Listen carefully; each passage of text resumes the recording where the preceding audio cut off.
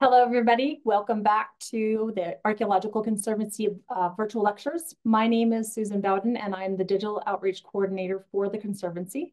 And we're very glad that you joined us tonight. A couple of reminders before we get started. Please use the Q&A section for questions so that we don't lose your questions in um, the chat stream. There will be some time toward the end where you can ask our regional directors some questions. We are live on our Facebook feed, so if you end up with any technical difficulties, you can go over to our Facebook uh, page and follow us there. And I am recording tonight, and the recording will be posted probably by midday tomorrow. So if you wanted to share it or rewatch it, you're welcome to do so. I am very, very pleased to uh, share with you that tonight you are going to get to hear from our regional directors. Um, these uh, the Conservancy's regional, directors oversee almost 600 archaeological preserves across the country. They're divided into five different regions. I am incredibly fortunate to work with this wonderful group of professionals, and so I'd like to introduce them to you. Heading up the Western region is Cory Wilkins. In the Midwest is Phil, Phil Millhouse. We are hoping that we can get Phil in. He's having some technical issues tonight, so um, hold on to that one. The East is handled by Kelley Berliner, and overseeing the Southeast is Jessica Crawford. And then finally, back around the corner, um, the Southwest region is April Brown. Each of our regional directors, will have probably 10 or 12 minutes to share what's currently happening in their regions. And they have some really very interesting and exciting projects and uh, things that they want to share with you tonight. So with no further ado, I would like to hand it over to April. She's going to start us off with what's going on in the Southwest region. April, it is all yours. Oh, great. Thank you, Susan. So let me get my presentation going here.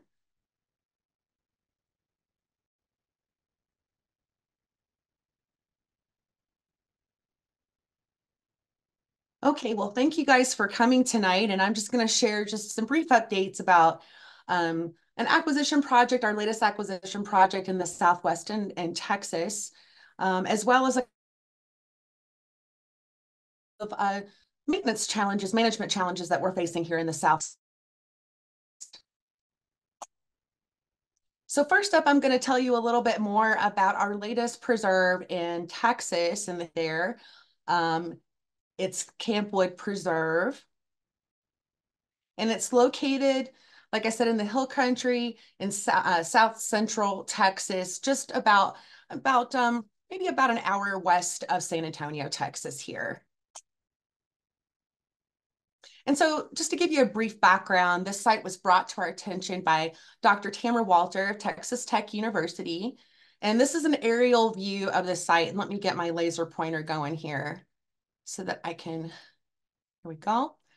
So um, Dr. Walter was actually working on this site here, which is the Mission San Lorenzo de la Cruz complex. And the property we purchased recently is in this area, it includes the house and this entire back lot. Um, and Dr. Walter specializes in mission, uh, mission archaeology. And she knew a lot about this site and she had tried to actually do some shovel testing on the other site, but the homeowner at the time wasn't interested in letting archaeologists on their land, which is good for us. Um, Tamara's biggest concern and the reason that she brought it to us was because it was very much at risk of uh, being part of a pay to dig program. There's lots of pay to dig programs in this area. And essentially what they do is they use mechanical equipment to scrape off the top layers to get down to the paleo, paleo and um, archaic deposits, basically disregarding all the historical um, the historical layers there. And um, she was very concerned that this property would become victim to it if it became, you know, it's got sold to another landowner. Um, so she contacted us to help uh, preserve this site. And it's because of Dr. Walter that we know what uh, what kind of archaeology is actually on this site. And there's four different cultural periods that she found while excavating at the mission site. That was the Paleo-Indian period and the Archaic periods um, that are of great interest to the pay to dig programs. And then there is the Mission San Lorenzo complex that dated from 1762 to 1771. And then there's another historical uh, component where a military installation of Camp Wood was located here in 1857 to 70, 1873. And so Mission San Lorenzo de la Cruz was relatively, it was a relatively short-lived Franciscan mission established in 1762 um, by a Spanish soldier named Felipe Rábago. And his purpose, the purpose of this mission was essentially to Christianize um, the, the Lipan Apaches who were raiding the area and to, to essentially uh, quell the raids and also to maintain territorial control over the French in, in this territory. And the mission operated for only nine years, but during that time, friars and indigenous leader, uh, laborers erected a large wilderness outpost of more than 14 adobe and limestone buildings situated around a central plaza. And you're seeing um, uh, basically a, a, a, a drawing of that site.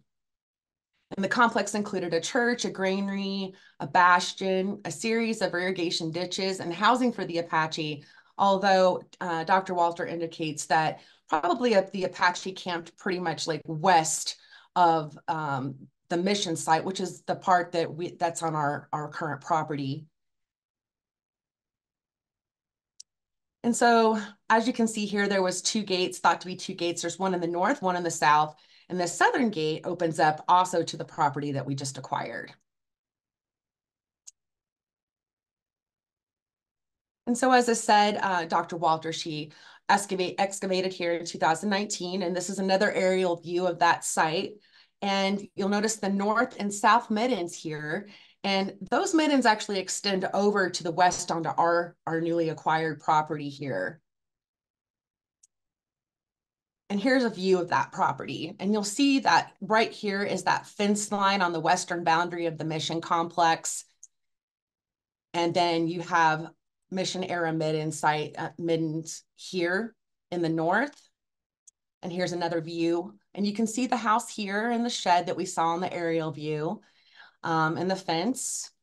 And there's middens all throughout this area as well. And there's plenty of surface artifacts to see that include pottery, um, different stone tools, and so on and so forth.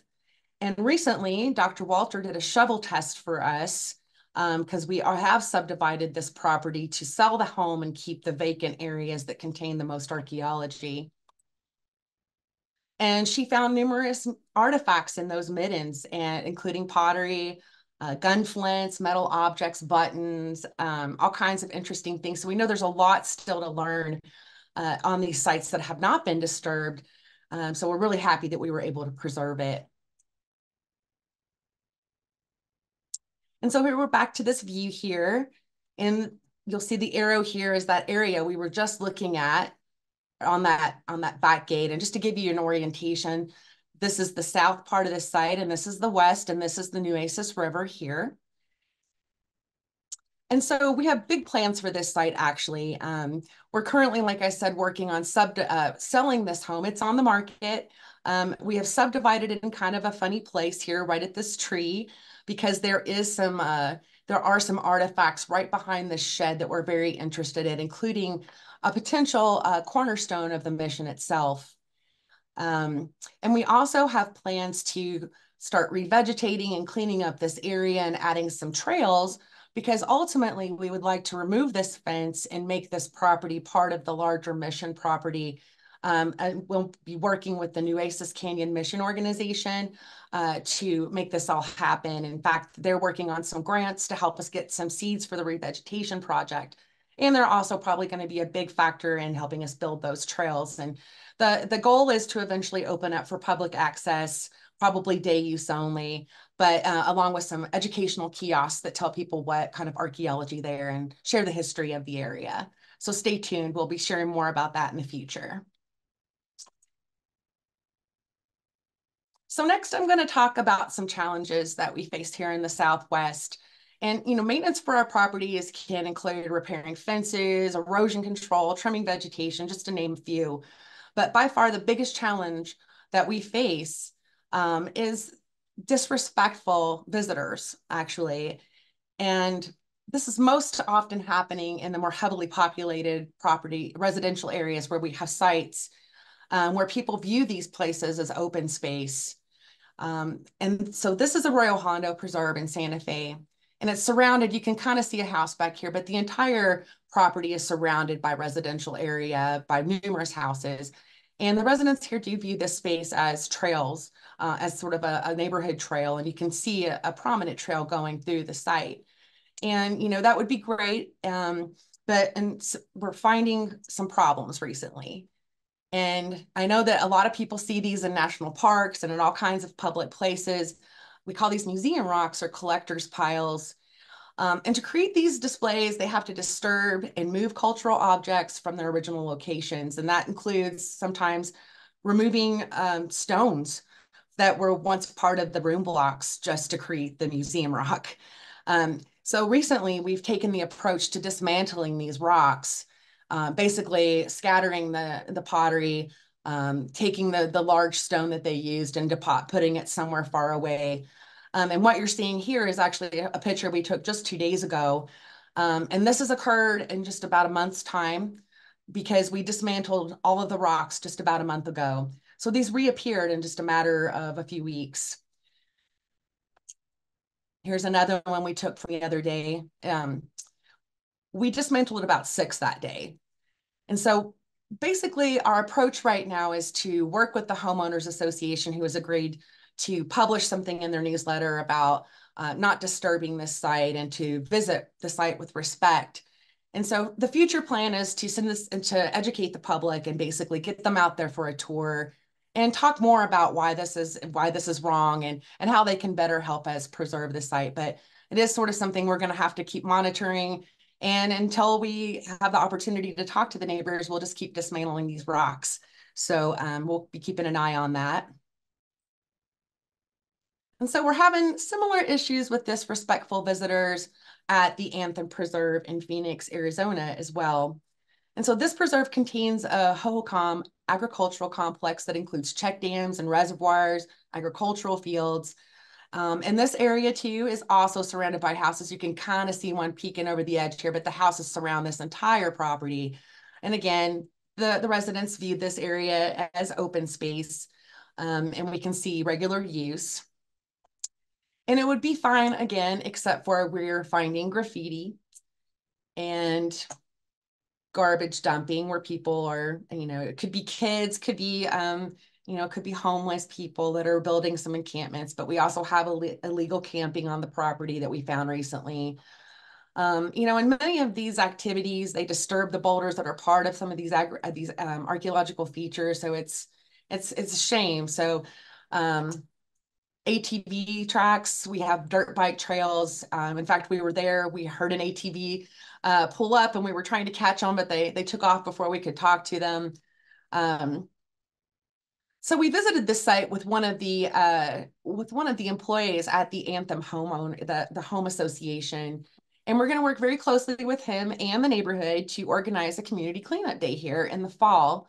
So basically what we're going to do is get the community out there to help us pick up the garbage, clean up the site, in exchange for an educational tour and lunch. So um, we're also hoping that maybe we can install some educational kiosks here in the key access points from the neighborhood that describe what the archaeology is here and remind people to visit with respect and and to not disturb any of these features. So again, we'll be monitoring this situation very closely, but um, I, I, I mentioned these projects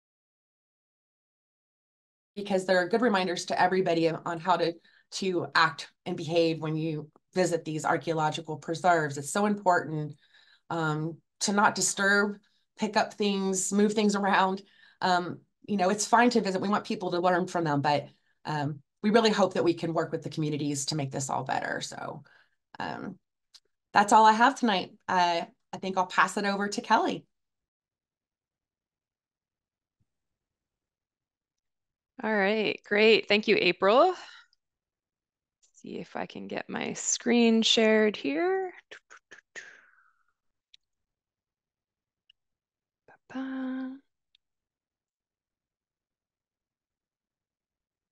Okay. All right. Hopefully everybody can see that okay.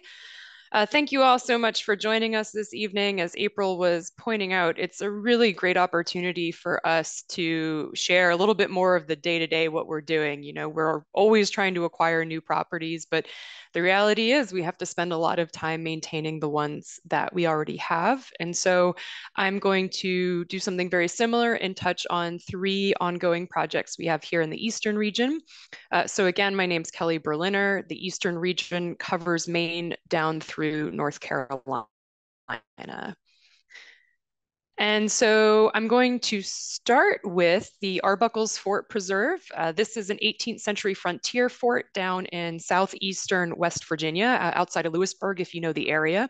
And I'm really excited about this project because we acquired this several years ago in partnership with the West Virginia Land Trust. And it's been a multi-year effort to try to make this one of our preserves that can be open to the public. So before we get to that, briefly, as I said, it's an 18th century frontier fort. We're looking at uh, frontier settlement by Euro-colonial peoples, and we're looking at conflicts like the French and Indian War and Lord Dunmore's War. So, what we know about this fort comes from a lot of archaeology that was done in the 90s by doctors Kim Arbogast McBride and Stephen McBride, who have been tremendous when it comes to researching and excavating these frontier forts, as we call them. So, we know that's the heaviest occupation of this property, though there are earlier um, periods of time, such as the Archaic period, where we see uh, Native American, American Indian occupation on the site as well. Uh, so again, chain of frontier forts. This particular one was built under the direction of Captain Matthew Arbuckle. And these were forts that were not only parts of these larger conflicts like the French and Indian War, uh, like Dunmore's War, to wrestle for control of this area, but we have to keep in mind that this area was, of course, first settled by American Indians. They were living in these areas. They were and they can so as settlement from the coast um, by Europeans and um, Euro-colonial forces spread westward, there was a lot of conflict, which prompted these forts to be built as a means of defense. Now, not only were they used for defense, but they probably served as community gathering places. You would have farmsteads, homesteads spread across what was considered the frontier, and this was a place for people to come together. Now you can see a very good outline of the fort here. Actually, this is after excavation of the stockade line. You can see it's a pretty small fort. Um, the two bastions on either end here, uh, you can likely see those little um, round areas. I don't believe I have my laser pointer on here, but on the left and right side, those are the bastions of the fort. Uh, and a bit of excavation took place on the inside as well.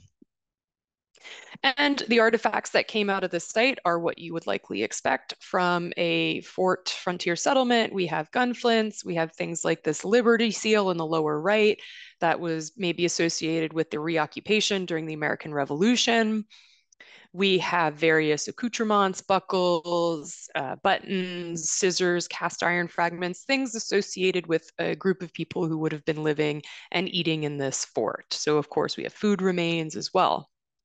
But importantly, I'd like to point out interesting artifacts like this amulet or inscribed metal disc. So this item, along with uh, several other metal objects, was found in the blacksmith area of the fort. And caches of artifacts like this have been found on sites associated with African American populations. And we know from historical documentation that Matthew Arbuckle owned enslaved Africans. And so this might be an indicator that not only are they living within the fort, but they're actually holding high status occupations like blacksmith, which was really important on the frontier. So, really fascinating ways to use archaeology to tease apart what's really going on at these sites. Uh, on the property, there was also a mill, a Blaker's Mill. Unfortunately for us, it's been moved to a new property. Uh, it was in such good shape that the state decided to dismantle it and relocate it to Jackson Mill State Park, which is not too far away, but we still have the archaeological remnants of this mill. And this gives you a bit of the lay of the land. So uh, Muddy Creek and Mill Creek intersect just slightly south of the property here, but there's a solid um, area that people have long known about as being associated with the fort, and we wanted to make it available for people to visit. It's really beautiful. There's a lot of ecological benefit for preservation. You can see on the right, that's a monument that was erected to the fort about 100 years ago now um, by the Daughters of the American Revolution. And we've also been able to use this site for a lot of public outreach. So I'll give a plug, check out our YouTube channel. You'll see we did a virtual tour of this site. We have a lecture. And then most exciting, we are almost open to the public. So over the past several years, West Virginia Land Trust and the Archaeological Conservancy have figured out a way to lay out a trail and install some kiosks that can make this one of our preserves to showcase to the public a bit to teach people not only about the resource, but also the importance of preservation and maintaining it. So if you're in West Virginia, Southeast, April 27th, 2024, we'll be having our official opening that weekend. So please, we would love to have you out there. Uh, Susan will put the link in the chat, I believe. So, or reach out to us. I'm happy to share details. Uh, sneak peek, we'll have some of our signage up. We worked with the Eastern Band of Shawnee on this project. So some really great information and just a beautiful area as well. Okay, uh, Kelley, uh, Kelley, the link is already in chat and that takes you direct straight to the page where you can register to attend.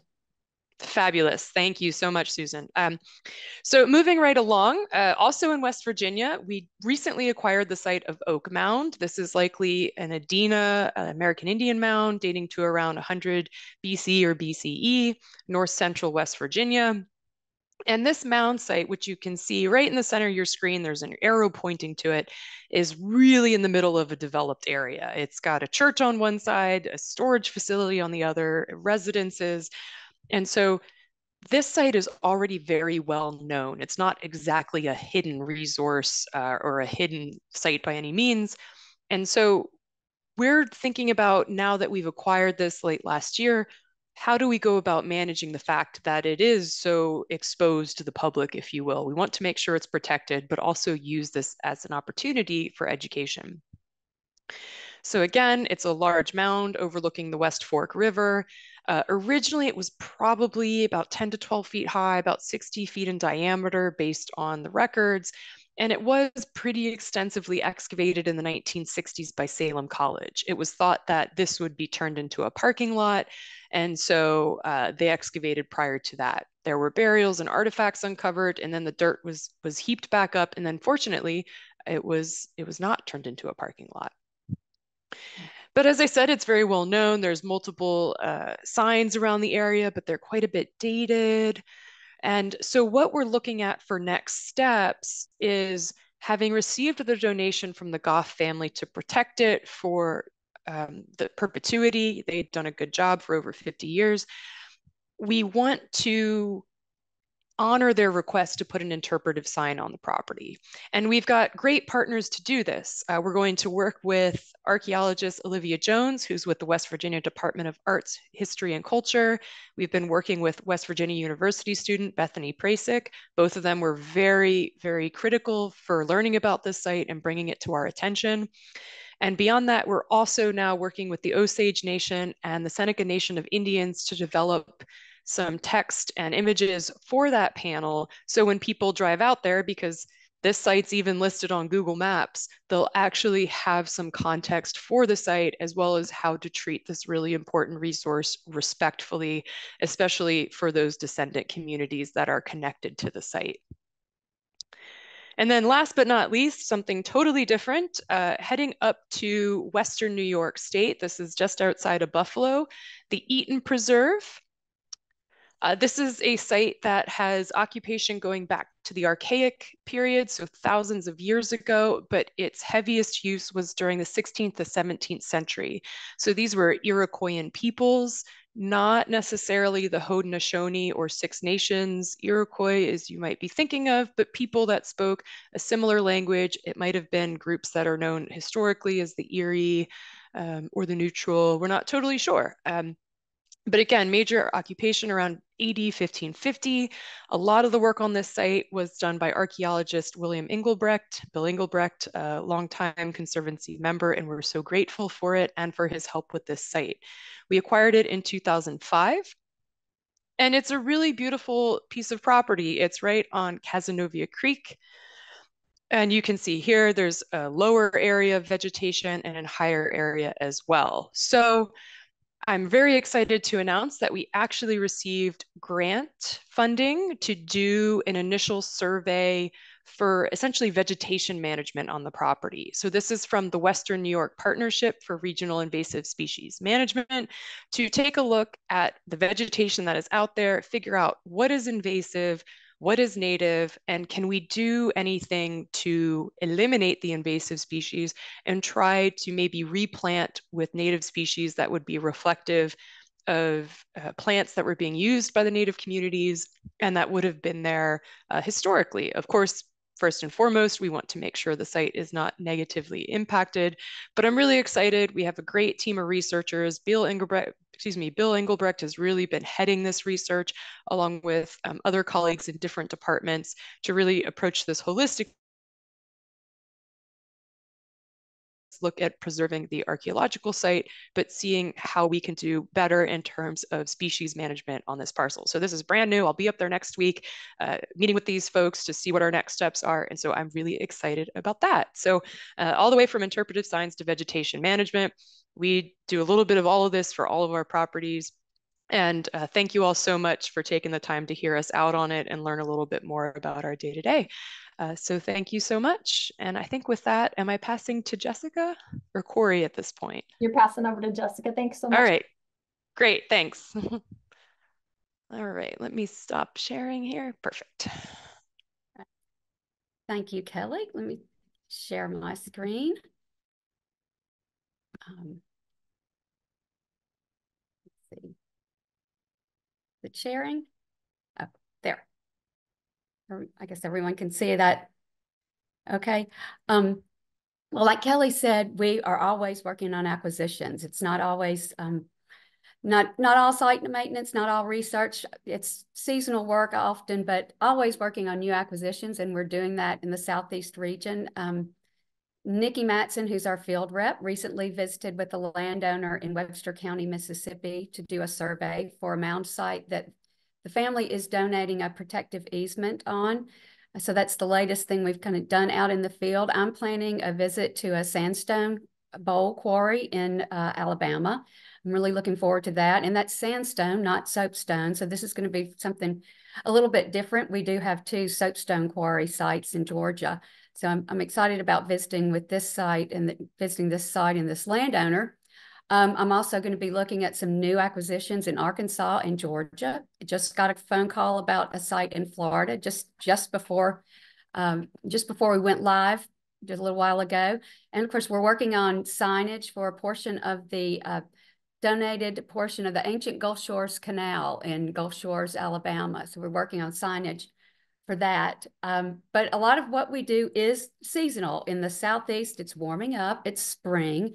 So a lot of what we're working on is site maintenance. And in the Southeast, that usually means cutting grass. And it's, you know, every site is different in how we manage it. Not every site has to have grass cut. We've got sites in woods and pastures and uh, agricultural fields.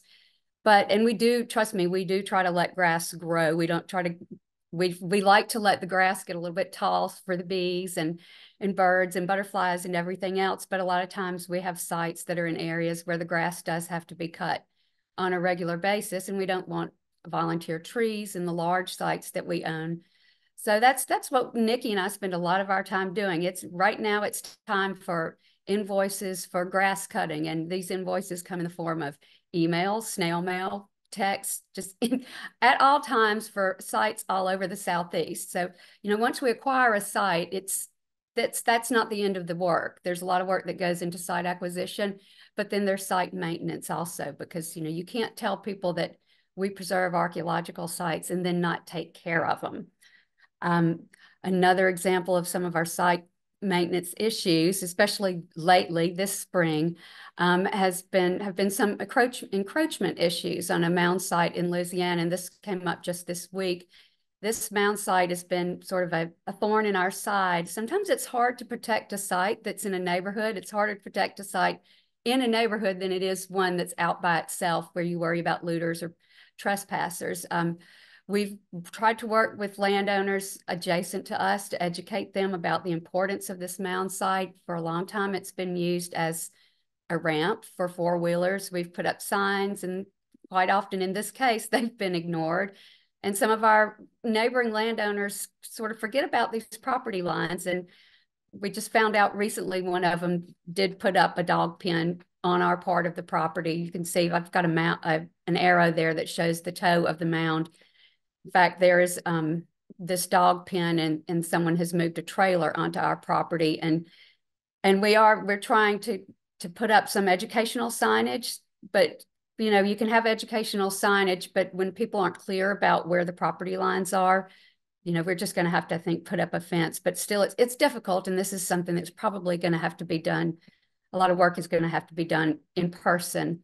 There, um, just going out there and knocking on doors and asking people to move the dog pen, which is you know, not not always a fun thing to do. But we do have allies in this neighborhood, so we're we're counting on them a lot also. And another thing, I another issue I recently became aware of was some hog damage at the Lyon's Bluff site in Mississippi. Um, you know, we like April talked about inconsiderate visitors. Well, in this case, my inconsiderate visitors have snouts and they're rooting around all over the Lyon's Bluff site. And this is actually, unfortunately, not uncommon in the Southeast. And this is a special problem. I mean, landowners all over the Southeast have to deal with the damage done by wild hogs, but this was really startling when I visited uh, Lyon's Bluff a couple of weeks ago with an a local archaeologist, and we just saw the ground literally chewed up by wild hogs. And so we're going to have to get creative and form some partnerships with um, some wildlife agencies to to help us kind of bring these things, these wild hogs under control. And it's again, it's you can just Google wild hog damage and you'll see that everybody in the southeast and maybe other parts of the country is is trying to figure out the secret of how do you how do you control wild hogs? They're not native and they reproduce several times a year and they have no natural predators. And they're doing a tremendous amount of damage to archaeological sites in, in the Southeast region. So I was really bummed to go out there and see what's happening here. Uh, we also have research that is occurring currently on one of our preserves, uh, Carson Mounds. We have ongoing research there. A dissertation student from Illinois is doing her dissertation work there. Uh, the Carson Mound site in Mississippi, it's, it's a multi-component site, but one of the most interesting components is the fact that it, it's a Cahokia outlier site. So we um, we have an, a researcher who's been working there for a couple of months, and she's still there now. And we go out there and, and check on her and, and, and try to help her out periodically. We're also preparing for a field school at uh, Prospect Hill Plantation, also in Mississippi. Uh, this will be done by Dr. Shawn Lambert with Mississippi State University, and he's also working with a cultural anthropologist with Troy State University. And this is a fascinating collaborative effort, and we're collaborating with uh, researchers in Liberia, Africa. Um, this is a, a, site that involves the um, sort of the reverse African diaspora, the, the enslaved people at Prospect Hill. A large group of them were were freed and returned and made the trip to Africa to settle in a colony established by the Mississippi Colonization Society in the 1840s. And so we're going to do collaborative and comparative research till in late July. And this is also a public outreach pro uh, project. So the public will be invited to come and, and visit and, and help Dr. Lambert do excavations on the enslaved areas behind that big house at Prospect Hill. So we're, we're really excited about that. In fact, he gave a presentation on that yesterday. And I think we'll get, I'll get Susan to, to share a link to that uh, presentation in the, the chat. I'm working on it right now for you. Okay, great. And another thing that I've been spending a lot of time on is a new acquisition. It's called Spokane Mound in South Mississippi, near Natchez, Mississippi. Uh, we had to buy a lot more property than we needed there. This is a, a mound site. Um, so as far as we know, there's just one low mound there There's also an archaic component. The mound, we believe, is probably late woodland. So it, it is a multi-component site. It has not been researched extensively and you know, there are no plans for research there, but we did, in order to preserve the site, we had to buy some extra land. We had to buy more than we needed, which is not uncommon. So we had some wonderful volunteers, local volunteers come and help us. We had, we decided to fence off the portion that has the archaeology on it, the archaic site and the mound so that it would be in its own fenced section. And so we had some volunteers come come out with us a couple of weeks ago to uh, to put up a fence. And this is and it's a huge, huge help when people offer their their time and their expertise to do these things for us. That way, you know, I didn't have to hire someone. It was just myself and two other volunteers, and we went out there and put up this fence. And yes, you can see um, we use my brush guard on my, on my 4Runner to actually pull the fence tight but it, it turned out beautifully. And while we were out there working, the former landowner and his dog came out and visited us. Um, you know, we were really fortunate that that this landowner decided to allow us to preserve this site. It's it's an important site and and it's a beautiful site. Of course, it's obviously in a pasture. It's not going to be farmed. So now that we have the fence up, now again in the southeast, it's time to get the mowing started. And you can do uh, see a, a virtual tour of the Spokane Mound site. Um, I think Susan's going to share that in the chat also, and it'll also be on our YouTube channel as well.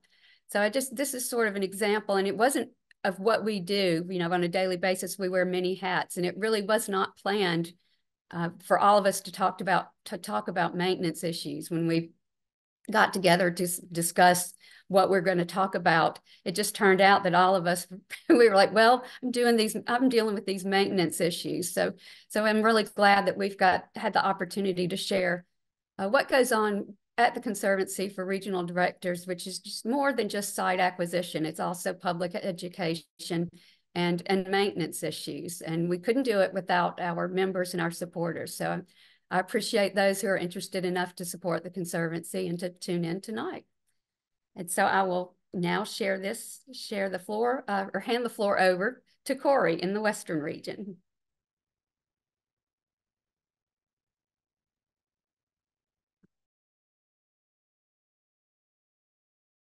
Thank you, Jessica. Let me get my presentation up here.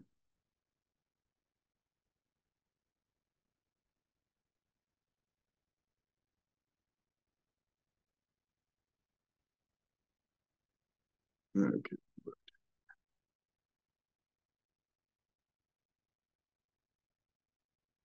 Sorry, guys, I'm having a bit of an issue. Can I help, Cory?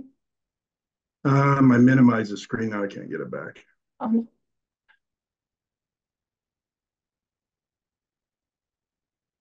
try hitting escape.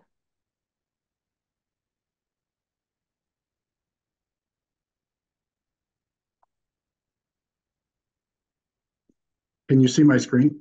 We can see your screen, yeah. Okay.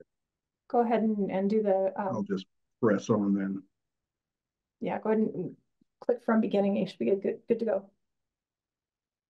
All right, we good? Yep, that looks great. Thank you. Okay. so I want to talk about a couple of our re more recent acquisitions. Uh, the first one is our Chinatown Gardens site in Mokelumne Hill, California you can see from the map, it's it's just southeast of Sacramento in the foothills. It's Mokelumne Hill is a is a small mining town on Highway 49. The the site of uh, Chinatown Gardens operated between 1848 and 1898. Uh, the gardens were developed in the, the 1860s um, for agricultural purposes, uh, water chestnuts, Chinese potatoes, and and decorative gardens. There are no other known remaining Chinatown gardens in California. Mokelumne Hill History Society, and that is History Society, purchased the four acre site at auction in 2015 and 2018, a couple of different parcels. Um, they offered it to us in 2022. What they wanted to do was recover their the cost of, of their property, uh, have us take over management, and so they could focus more on on other aspects of of their operation. And the property was listed on the National Register of Historic Places in January of 2023. And that nomination was done by archaeologist Julia Costello, who has worked extensively at the site. So this is the footprint of, of the original Chinatown in Mokelumne Hill. Um, where you see my cursor is where the gardens were on this side of this road. Um, the Conservancy also purchased this this lot right here, which has a foundation and some subsurface um, value to it. But the the gardens are here. You can see the terrace walls in this map. This is a good map of, of the actual gardens now. There was an old Buddhist temple down here at the bottom, the south end, uh, platform for, for uh, vegetable sales, things like that. Big pond right here in the middle, water chestnuts, and then these these terraces were were separated by these stone walls. This is the old Buddhist temple that you saw on the south side. You, the picture of it as it was as it was falling down. This on the uh, on the right hand side, this picture, this platform is where the temple once stood, and the the road was also built over the top of, of part of that platform. Down in here is where the pond would have been, and then further down the hill the terraces and, and more of the gardens. This picture on the left-hand side is of a similar um, a similar garden China slash China, Chinatown in Oregon around 1892.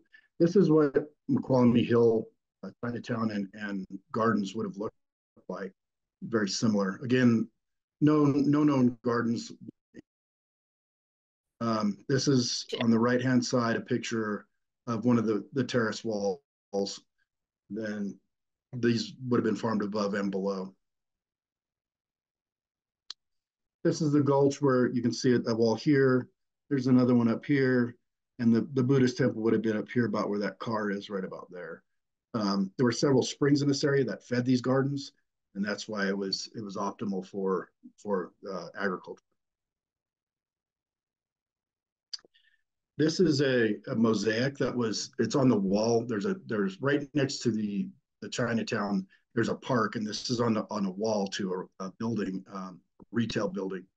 And all of these things, all these artifacts came out of, out of the site and they built this mosaic of the garden and the buildings and then, and then some other um, artistic things.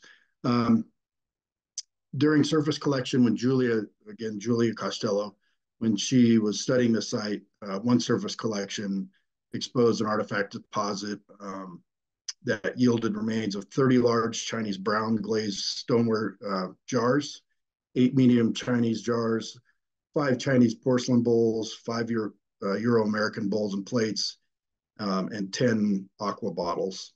and the subsurface artifacts remain. So that was one of our more, our more recent in California. And the, the contrast between that site and, and this site that I'm going to talk about is so much is known about Chinatown Gardens, the history, the people, uh, everything is very well documented. This site here in Nevada was one we were we were brought to um, from the owner, and they were doing a parcel split, and the owner didn't know what she had, so she came to us and it's in it's just outside of Reno, right on Lake Lahontan. It's a, a traditional Paiute, Paiute territory. Um, the contrast again, the culture of the site is completely unknown, and the age of the site is completely unknown. So this is Lake Lahontan here. Our site sits in this general area on one of the hills. The site faces predominantly south This here is an is an overview, and it's it's hard to see, but if you can if you can make out these green circles on this side of the hill, they go around. This is the top of the hill. Um, these green circles, there's 76 of them that we counted. And this is what they look like. We originally went out uh, for our for our initial visit with the landowner. Um, walked into this, I, I, had an archaeologist, Dr. Greg White, in Cal, out of California, out of Chico. Um, he went with me. we walked into the site and had no idea what we had. Um, so we documented all of the all of the these stone circles. Um, looked for other artifacts. There were no associated artifacts. Um, so I took it to the board, and they weren't sure what we had. So they sent me back. So I did another site visit, and again, we we were we were left with nothing but questions. So after a lot of discussion, several board meetings, we decided that indeed there was a lot of a lot of research potential here. Um, and since then, the leading the leading theory on these is that they are ceremonial, um, kind of a maybe a Vision Quest site, but we're still uncertain. We're hoping to get uh, a student from from University of Nevada here in Reno out there to, to maybe take a look and do some research. Again, these, these, these circles are massive. They average in size um, between two and 15 rock piers high. Uh, they're about between a half a meter and almost two meters deep and about mm, two, three meters wide. They're just massive. The amount of the amount of effort it would have taken to move all of these rocks when you see it in person is is just astonishing. So lastly, I'm going to talk a little bit about maintenance issues myself. We, the weather in in the west has been uh, not great this winter. It, has been very windy, uh, and that brings about obvious problems when you're uh, maintaining property and, and ar um, archaeological sites. So I got this picture from our neighbor and my site steward, and he just sent me a quick blurb and said one of the trees fell over and and uh, probably is going to need to be cleaned up. This is right in the city of Sacramento. Um, so the city is is pretty tight about how how the site looks. Um, they're they're adamant that we maintain our our uh, vacant lots so I needed to get in there and take a look at this tree. The grass is actually taller than it than it normally is. They cut it the next day. So I saw this picture and I thought, ah, little tree, we'll go take care of it. Well, not so little. Um, it's a it's a massive old walnut tree. Um, I was able to get somebody in there to, to cut it up. Once they found that it was, or once they cut it up, they found that it was hollow and full of termites. And so they suppose that the tree on, on the left-hand side is in the same condition and ready to fall over. So I since had to have them go in and cut that down and take care of that as well. Another issue when trees fall over, and this one isn't as bad as it could have been for um, these root balls pull up, they make giant holes and they pull up all, all kinds of artifacts. So that takes some some repair and stabilization, which we will need to go in uh, in a couple of weeks and, and do that. It's been raining over there, so it's super muddy. We'll get in there when when we can and and clean it up, document it, and we've got somebody to take this wood. But here's the thing: one tree, surprise cost to cut up and remove the one that fell over was twenty eight hundred dollars. To trim and stabilize the others was twenty five. That's one storm cost us five hundred or five thousand three hundred dollars. Um, and we, this is just one issue. So acquiring sites and preserving them is, is, is absolutely what we do. It's, it's why we exist. But then on the backside, as you can see, we are, we are all dealing with these maintenance issues and the cost of those issues. And uh, we really appreciate your support in helping us with these efforts. Thank you. Thank you so much. Regional directors, I, am in awe. Um, I'm going to ask you guys to come back on screen so we can get some questions answered. But um, when I stop and think about, we just heard about less than 15 of our sites and the Conservancy has almost 600 sites. And so they're doing this kind of work for every single one of them. And that's pretty extraordinary. So hats off to all of you. Um, a couple of questions and, or excuse me, a couple of, of um, comments and also a question. April, um, are you ready to go with, with uh, that question? Did you see me text it to you? Uh, sure. Did you text me something?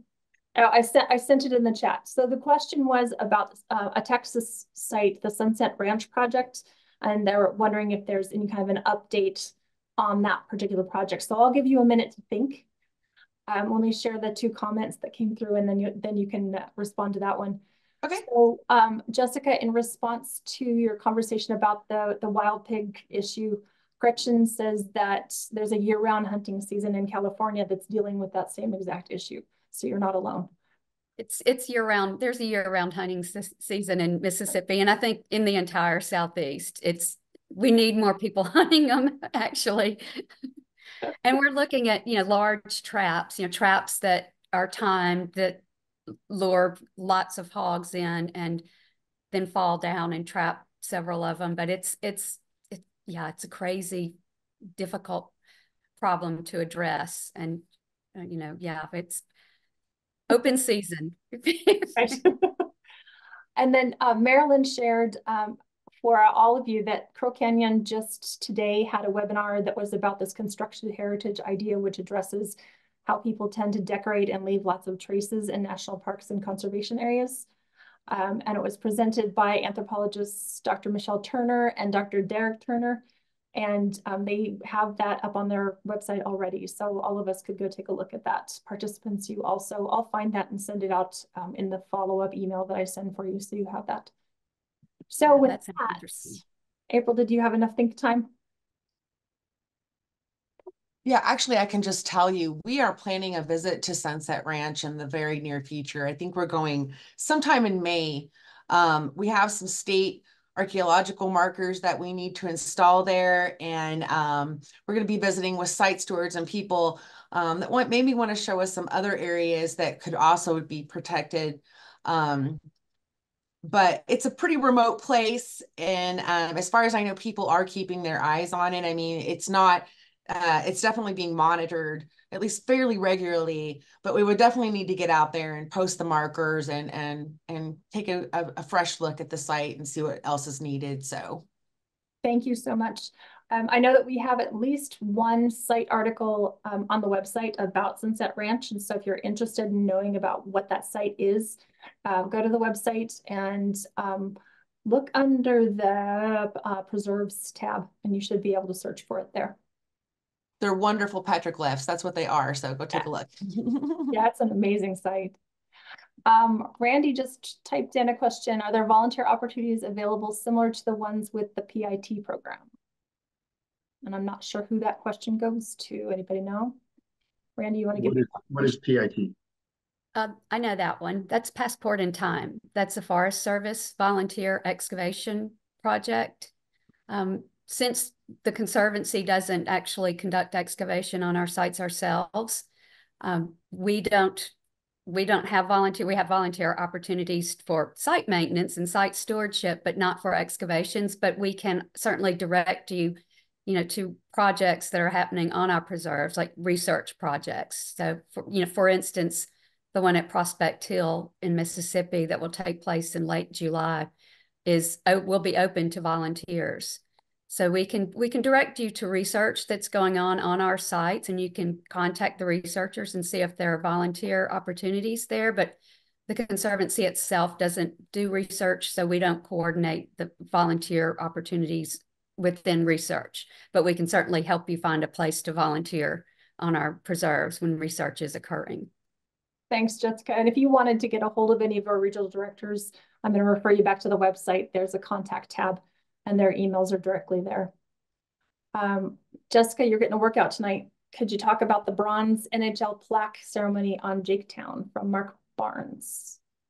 Um, there are no plans yet to actually with, and this is the Jaketown site in, in Mississippi, Belzoni, Mississippi. It's a um, late archaic through Mississippian mound site. The Conservancy owns about 69 acres there, and it's a National Historic Landmark. And we recently were um, given a, a, bronze plaque for the site from the Park Service. And we're are hoping to do some type of a, a presentation ceremony. We're not going to erect, put the bronze plaque just because we worry about, you know, it being stolen or defaced at the site. And it also might encourage trespassing. So we will have it housed at a local museum. And when that ceremony is planned, we'll we'll announce it and advertise it widely. Um, we have a lot of a lot of people to coordinate for that ceremony. We want to get with some tribes and also the local museum and the local community. So um, we'll we'll make we'll make sure there's a lot of publicity when the bronze plaque is presented. Thanks, Jessica. Um, now I know at least three of you talked about uh, mounds. Somebody's got a question, or Mary's got a question about mounds. Are you able to ascertain whether they contain artifacts or remains?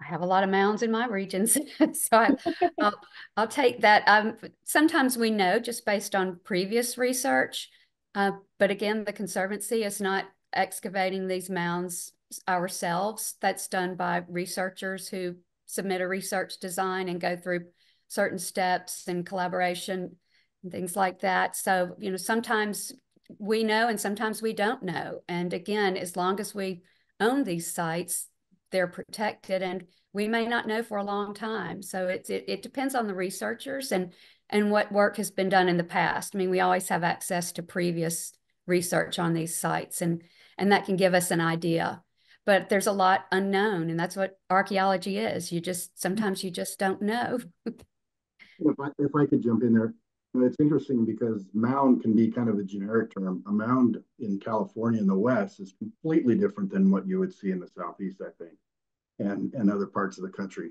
um, for instance a mound in the sacramento valley would be something they would have built up out of the flood zone for a habitation site and we pretty much know what's in those mounds um, but you know, a completely different animal than what you would find in, in the other regions.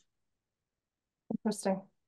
And everyone is unique, you know. Um, each each site has its own part, own page of history to write. So you know, they're not all cookie cutter and not all the same.